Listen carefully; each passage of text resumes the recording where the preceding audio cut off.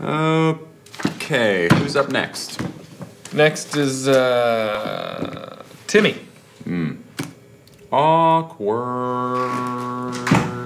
Hey guys, this is pretty crazy, right? How so? What do you mean? Well, we worked together on the TV show for so many years, and now you guys are making a big studio movie, and I have to audition for it just like everybody else. Yeah. Look at you. Well, I'm sure I'm a shoo in for the part, what with our long, colorful history. and Yeah, all. so just slate into the camera there and off you go. Timmy Williams, five foot nine, 120 pounds. You do realize that that is a camera.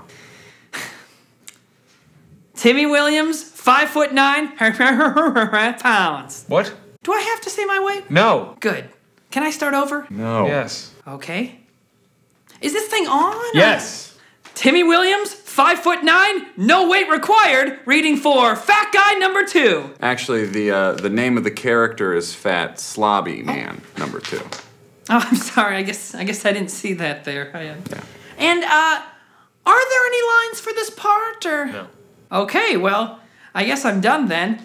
Do you guys think I got the part? Probably not. Is it because I'm not fat enough? No.